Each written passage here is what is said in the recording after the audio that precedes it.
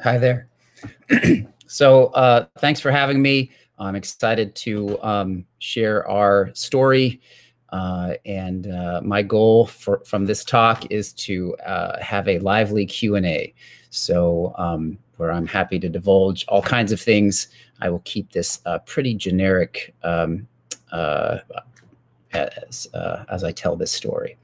So that introduction was great. Um, uh, I'd like to say a little bit about uh, kind of how we got into healthcare uh, and why uh, we thought we might be the right team to uh, gamify uh, social distancing. So we got into healthcare. we've been around for about 15, going on 16 years in the entertainment and education space, making online games and, and mobile games when mobile phones came out eight years ago, uh, I had a uh, daughter. Um, at seven days old, she ended up at Children's Healthcare of Atlanta. It was a very scary uh, experience for new parents, as one might imagine. And um, uh, but she's happy and healthy. She just turned eight this past April, and um, uh, but I met uh, wonderful this wonderful team at Children's Healthcare of Atlanta, and two years later, I um, I was uh, I wrote a grant, an NIH grant with them. Sorry, sorry, my uh, my Siri is acting up. Uh, so, um, and so I uh, so we wrote an NIH grant uh, with uh, Children's Healthcare of Atlanta, Emory, and Georgia Tech around teaching um, kids health and disease literacy, and um, and so that's how we got into healthcare. Uh, and for the last um, six years, have been very passionate about that space. And uh, our philosophy uh, in um, in using games is to um, is to affect uh, behavior change. Uh, and we do that through an engagement first approach. So the first kind of the, the, major indicator of how we can change behaviors is to engage, and we do that through uh, entertaining our users, uh, then we're able to uh, sprinkle in the spinach, if you will, uh, sprinkle in the education, uh, and then uh, leverage cognitive behavioral techniques to empower and, and, change behavior. So that was where we were coming from. March, March came around, we had a wide range of, of, projects that we were working on, and um, and they all came to a, a screeching halt. and so uh, we, unlike a lot of services companies, uh, you know, you should have a, a runway, if you will. Um, and uh, but we're constantly investing and, and, building products. Our goal is to become a product and uh, services company. And so uh, we were pretty much dead in the water when these four projects um, came to a halt. And so we looked around we wanted to keep the team and the dream alive, and um, and so we we thought, well, how could we be part of the solution? Um, there was talk around leveraging uh, digital health for contact tracing. There was all sorts of um, kind of negative um, aspects of it, uh, and um, uh, not negative aspects, but uh, barriers to entry, if you will, uh, challenges with um, with contact tracing. And so we wanted to kind of take a, uh, a different uh, view of that. And so how could we be part of um, helping what we saw as the, the number one um, impact to uh, staying healthy, which was social distancing. And, um, and so uh, we decided to pitch this concept. Uh, we, we didn't have enough money to, to develop it. Uh, we had not gotten our PPP or had gotten PPP. So we pitched it to uh, one of the largest, let's say, telecom companies in the United States, and um, and it got it got backed, it got greenlit, um, which was a very exciting proposition for a company that was um, we didn't know if we were going to be able to survive. And so uh, we embarked on a journey with this telecom partner uh, to prove uh, the technology that would facilitate um, something that we could then gamify. So we took a, a dual approach. We were building a technical prototype uh, using um, or leveraging uh, your phone's Bluetooth low energy, uh, Bluetooth low energy technology, which is basically your personal network that your phone creates when you are broadcasting your Bluetooth signal. And so the idea was um, your device submits a signal, and could we, based on that signal strength that another phone would receive, uh, could we estimate uh, the distance? And so, could we tell you um, how close you got to another phone for how long? Uh, and could we also um, show things like uh, are you inside? Uh, are you outside?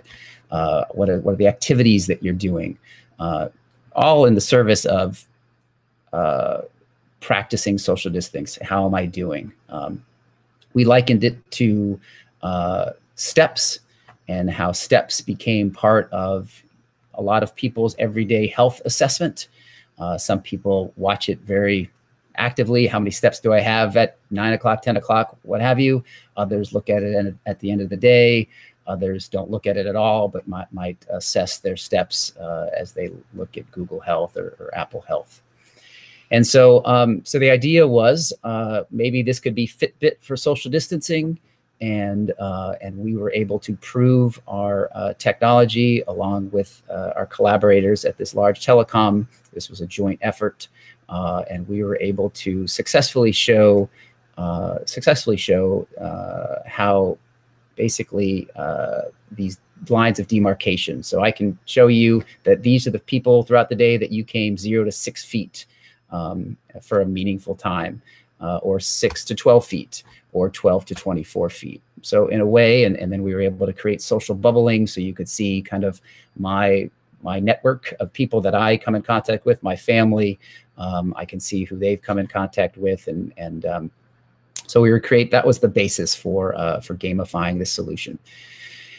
And um, and the idea was it, with this we could create all kinds of games. There could be ways that uh, kids could play this in, in a fun way, and um, and and college kids or teenagers and, and how might an adult leverage this or how might an employer leverage this uh, and, and make, make this an engaging experience, not a scary experience. Um, and all along, making sure that we were very, um, we were taking privacy seriously and uh, all the data was stored on the phone, kind of you were empowered with your data. We weren't keeping it. Uh, this was just about you. And so that was very exciting. Uh, we, we delivered a prototype. Uh, we delivered a go-to-market uh, solution. We had one of the largest telecom providers uh, in partnership. They were super excited about it, and um, and we pitched uh, the, the a larger team there um, and um, a larger budget. And this is how we're going to do it. And um, and the project got killed. So um, I don't have a ton of detail uh, of why uh, the project didn't uh, wasn't picked up. We were just as disappointed as many uh, members of our partner were. So we were faced with a the potential. What do we do? How do we stay afloat? Um, and uh, right about that time, we scored our PPP. So we had a little bit of runway uh, and um, and we needed to decide how we kept the team together, how we could bridge to um, to finding more work, to finding funding for some of our projects, and we had to decide if we felt like what we had invested all this time in, um, which we had every we were given every right to use this technology, uh, we were given lots of support from our partner. It wasn't it just wasn't something that they were willing to take to market. So uh, we uh, we had to figure out what that solution might be, what that go-to-market solution for this really neat technology, this algorithm that we had developed. Um, was it a direct-to-consumer solution? Was it a B2B solution that uh, was brought to you by public health institutes or healthcare hosp hospitals? Uh, was it regional? Uh, was it something that uh, employers might be interested in providing for their employees? So as we look back, uh, there were probably some some challenges with how we did how we went about pitching this. Um, when you're when you have an idea like this, it, the best thing to do is pure customer discovery, where you're not selling, you're not pitching, you're um, you're describing what you feel is a problem. You're trying to validate that problem. You're trying to find authentic demand, and uh, as the pitch guy, the sales guy for Thrust, I would say that I was trying to do that, uh, but I was also pitching something that we had created uh, with this, uh, with our partner, with this telecommunications company partner. And something pretty amazing happened for us. Uh, large companies, uh, yeah, large companies, large institutions, large hospital systems, large public health organizations, huge school systems, school districts uh, started returning our call. Uh, we would reach out, about 80% would uh, you know, return our call and say we're interested in learning more. Uh, about half of those uh, ended up um, asking for proposals. Uh, and so it was a very exciting time. We thought we might be able to make this work.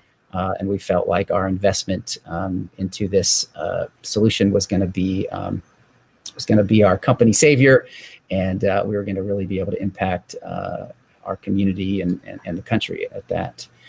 Um, unfortunately, um, and again, I don't have a lot of insights into why some of these, uh, why none of the deals closed. Um, it was the sales cycle was very, very difficult. It didn't take much for a company um, to provide somebody to provide feedback that they just didn't want to be in this space. It was uh, privacy issues. Um, uh, it just the, the, the reward wasn't worth the risk to a lot of these organizations, and so that was. Uh, uh, that was something that we were we were working through, and we still thought we could take this to market. Um, and uh, we started working on a direct to consumer. Um, it, it, was a pretty powerful solution. Um, it ended up kind of kind of becoming Fitbit meets Yelp for social distancing. Uh, I tell this story where I was able to take our solution into um, a, a, grocery store uh, here in Atlanta, and it was one that was kind of billed as a, a safe place to, to go into, a line out front, everybody six feet apart. Um, and um, but then once you got into the store, it was kind of a cluster. And uh, I was able to come out of that experience and show, well, these are the 60 people. This is right in the midst of the pandemic. Uh, these are the 60 people that I came in contact with. Some a safe distance, but most uh, not a safe distance. And unlike contact tracing solutions, I didn't. It didn't require critical mass. It didn't require that anybody else had the application. Uh, it was something that I was able to to use, and it uh, informed me, and and uh, you know that this might not be something that I, I would do in the future. Um, that I also have a story where the first day that my dentist opened up, I had missed my dentist appointment. I signed up to go in. My wife and my daughter also had appointments that they had missed. Uh, they were not comfortable going into the dentist. My wife couldn't believe that I was. I went into the dentist. Uh, and um, in my 45 minute session, I came in contact with three people. They were all wearing masks. They were all in basically hazmat bodysuits.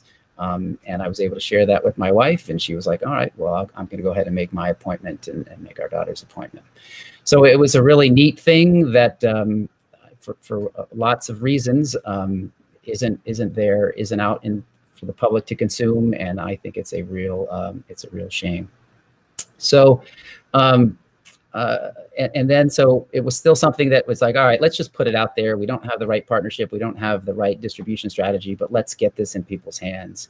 And then the last straw was um, in submitting it is uh, we got rejected by Apple.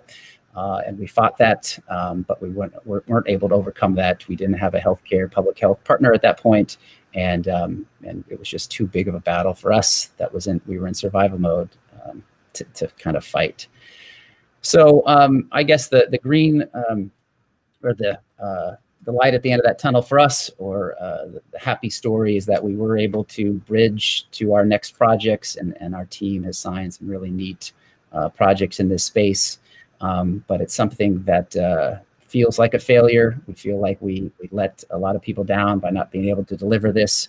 Uh, and the irony is, um, I guess about two weeks ago, um, people were still reaching out to us. Um, but after the uh, the protests, after a lot of people saw that, we saw the protests, the large groups, the large gatherings, we felt like maybe social distancing isn't a thing. Uh, maybe this isn't worth fighting for. Uh, and it was something that um, we kind of just pivoted away from. Um, and then about three weeks ago, our phone started ringing again from schools uh, school districts that we had talked to in the past, um, wanting to uh, wanting to look at this solution for their uh, their students and their parents and their teachers, and uh, and it's a very fluid thing. It's it's kind of funny when I when I pitched this as a talk, I didn't really know how it would end. Uh, a week ago, two weeks ago, I didn't know what what I would talk about. Um, but what's interesting uh, is that the, one of the largest school districts came back and said, we're ready to move forward. And uh, we put together a plan and delivered that on Monday. And then on Monday afternoon, uh, that the school was not going back to in-person school in the fall, one of the largest school districts. So um, another strike. Um, and then uh, to kind of put a bow in it, uh, the telecommunications partner that we had partnered with that was supporting us from afar literally reached out to me this morning and said that uh, they want to they want to revisit uh, this technology that we built together and and um, who knows where, where that will go. But uh, but that's our that's our experience. Um, I'm still still bullish about what we've created. I still think it's a platform for um, I, I, think for lots of game developers and, and the creation of lots of games uh, to, to kind of um, engage and inform and educate uh, in fun ways. Or I think uh, the kind, the, the, amount of people that you come in contact with uh, uh, at establishments throughout your day uh, will become part of our our health assessment. Probably just like steps, not something that we actively need to be monitoring. Um, you know, like every hour and learning every hour, like uh, we were with our, our social distancing app. Um, but I think it can be something that uh, will make us smarter, uh, will help us be educated on uh, our behaviors, uh, and I think it will help. Um, uh, it just it would be nice to be able to have. And, and, the last thing I think, as we are experiencing, kind of this pandemic that we don't really have our, our head head and hands around.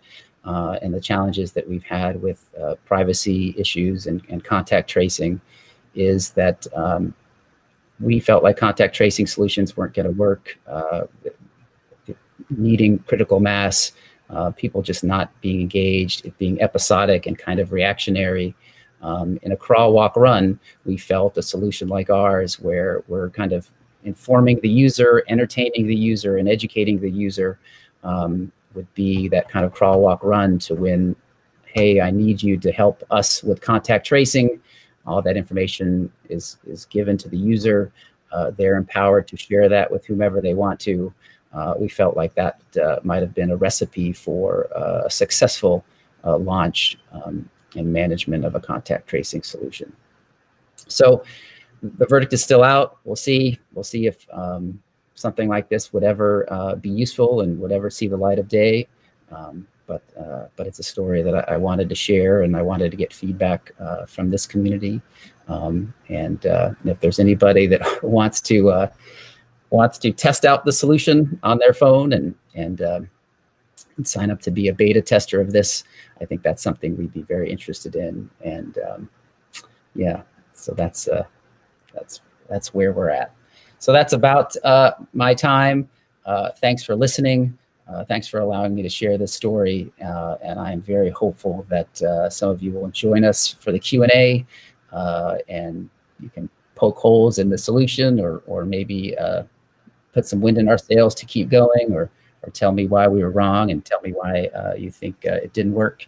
Um, and I'd love to share with you some of our game ideas and, and things that we had in the works that uh, we were really, really excited about that I wasn't able to share here. Um, so I think that's it. Uh, thank you again for your time.